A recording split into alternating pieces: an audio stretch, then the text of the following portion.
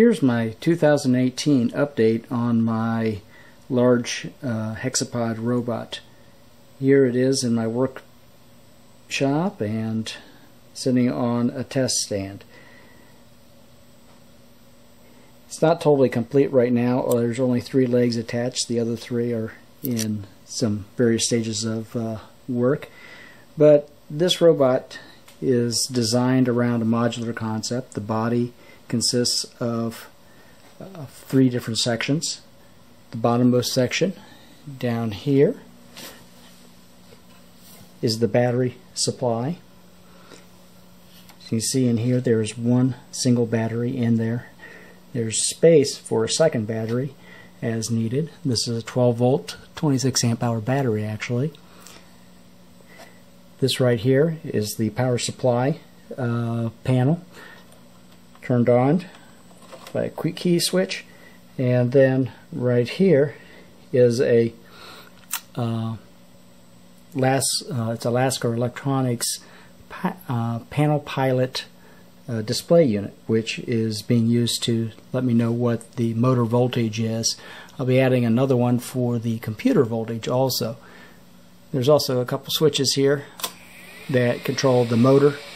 This is actually activates, turns on all the motor controllers themselves. And also there is a, another switch down here for the computers. Go ahead turn that all off. Here's the power distribution panel on the other side. This is for the uh, the computer and all the other electronics. It's got its own relay right here for the power distribution, a lot more distribution points. Right now I'm just using six, and these are specifically for the six leg, uh, leg computers. And then down here is the uh, charging ports. Right now only one of them is actually hooked up, and this is the one for the main battery. But these are for additional add-ons in the future. The uh, other panels here are just basically decorative panels uh, keeping dust and dirt out. Everything's designed so that it's got lots of airflow through here. Uh, since this thing is mostly air cooled, that helps with that. So that's the battery side of it. Moving up to the next section, this is the main body portion of it. Here we've got six panels, each of them containing three um, motor controllers, one for each leg uh, motor, and each leg motor has got three motors associated. We'll talk about the legs themselves in a minute. Uh, this is kind of a modular just uh, setup where everything here is held in by four bolts and it unplugs from the other side. Leg would go and slide in here. As you see, leg number one slides in here. This is a basically an item to catch the leg so it lines up properly. There's two bolts at the bottom, two bolts at the top coming in. Here's the power distribution to the leg plus the uh, power distribution to the individual motors. You've also got a distribution panel right here which is for all the various uh, sensors associated with the robot. Interior is kind of messy. If we go inside a little bit here, you can see there's one of the motors uh, that is actually a swing motor for one of the other items. You can see these are, it's kind of busy in here with all the distribution. Up here on the top hanging there is a 12 volt, 5 volt uh, power inverter. This is what actually powers the computer systems. And as you see, everything kind of has got connectors associated with it so that it can be, uh, it's very modular. The next section on top of the main body is actually is the computer section, but it's actually divided up into three separate layers. One layer is right here. This is a piece of plexiglass, goes all the way around, 12 sides, and behind these are um, RGB LEDs. Each one of these sides has got two RGB LEDs associated with it. So with 12 sides, that's 24 RGB LEDs. Uh, each leg has got four assigned to them, and they're used for troubleshooting. This is the actual uh, computer layout, uh, the computer layer right here. I'll take the lid off here in a minute. And then there's the top, and this ball right here is more than just decorative. Inside this ball, which uh, is not installed yet, will be a LiDAR unit, uh, very similar to this one right here. This is probably going to be the one that goes in.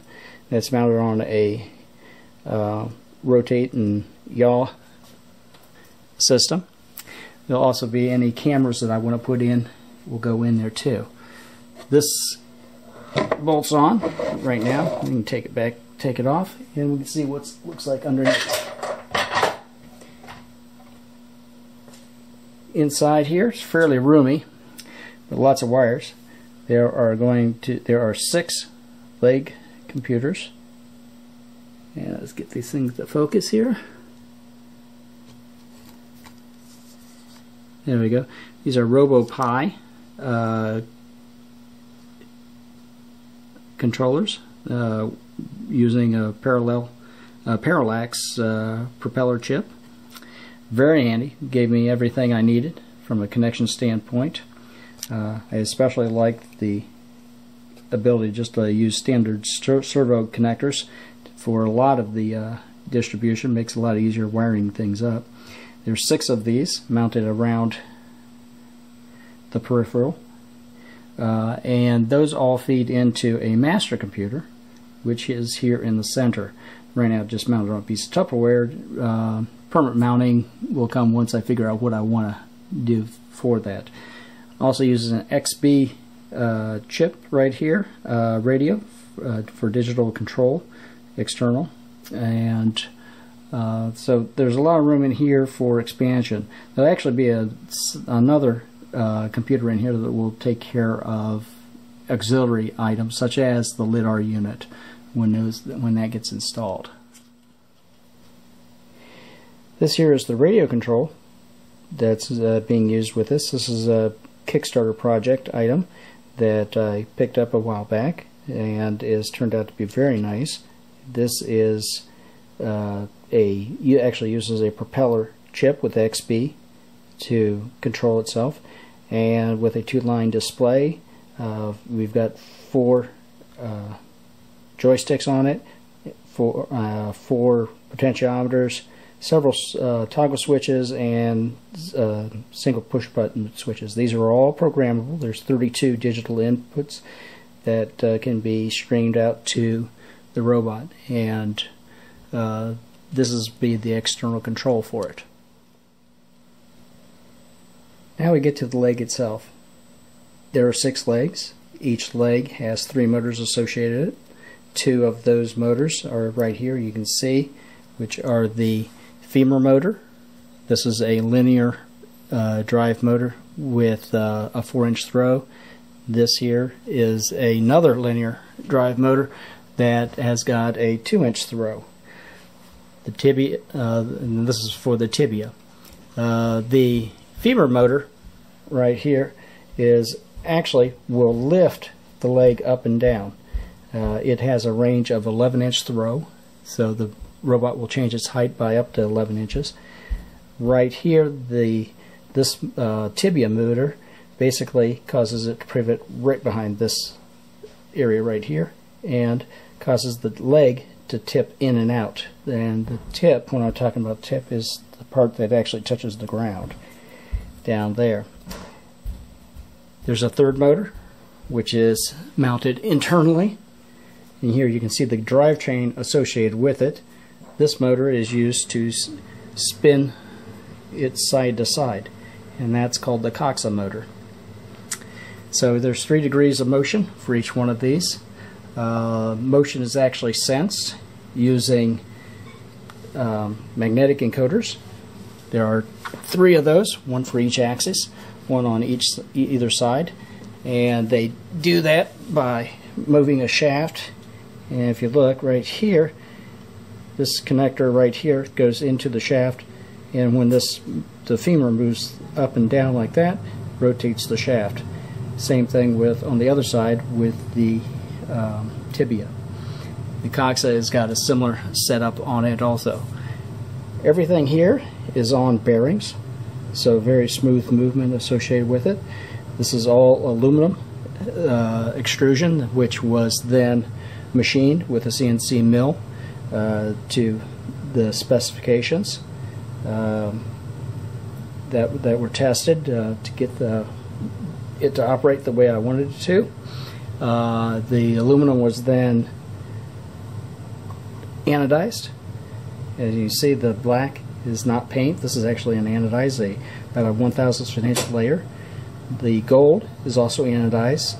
This is uh, just because I wanted to see if I could do a two-tone type setup, and I put uh, gold in several different places, just kind of spruce it up a little bit. So this is the hardware side of it. There's some internal hardware stuff that isn't very visible. Within this block right here, there is a spring, a 25 pound spring, and uh, mounted on top of here is a switch assembly which uh, is activated whenever the leg is down and it's got at least 25 pounds worth of uh, weight on it. This is how the computer knows that it is the leg is actually touching the ground. It's got solid footing. It also has the ability right here. This leg actually moves a little bit, and what that is is within here is a sensor that tells when this leg tip is encountering and touching something so that it knows not to try to keep driving if uh, it's got hit an obstacle. Neither of these two sensors are in place just yet. Uh, right now, still working on the programming to make the leg work properly. That kind of sums up the mechanical portions of the system. Uh, where we're at right now is right is doing programming for the last couple years. The programming has turned out to be a little bit more arduous than expected. Um, trying to get everything to work exactly the way it needs to work and everything to work the way that it needs to. If you imagine what I have to do is the tip of this leg has to move along the ground and it has to move along the ground in a fairly straight line depending on which direction the robot is moving. Any sliding of that tip of that robot uh, could cause some damage to the robot or the uh, the metal associated with this. So, using inverse kinematics, uh, figured out the uh, formulas needed for this thing to run properly, and now it's mostly a lot of tweaking to get this thing to work the way I want it to. Uh, there's a proportional integrate integral derivative control PID controller for uh, each one of these motors getting those things tuned properly has been taking a little bit of time, uh, getting closer and closer all the time, uh, and also then integrating all that together so that into a leg movement that uh, resembles a step and a step in whatever direction I want it to go. Since this does not have a front or a back associated with it, uh, direction control is uh, going to be based on the input that I give it from the uh, radio control system. So, uh, 2018 plan is to continue to work and uh, slowly improve the leg movement. Once I get a good solid leg movement on the test leg, which is this leg right here, and it's the ruler on the ground to help me visualize when the leg is moving straight or not, and to then start uh, moving that, that program over to the other six legs and get them individually up and running so that we can do the first actual step for the robot. So this has been an overview of the robot's progress over the last few years and uh, kind of give a starting point for 2018. Uh, more things coming in the future. Uh, hopefully, I would like to see it make its first step sometime this year. That's the primary goal. So, not giving up on it and keeping on working. Bye now.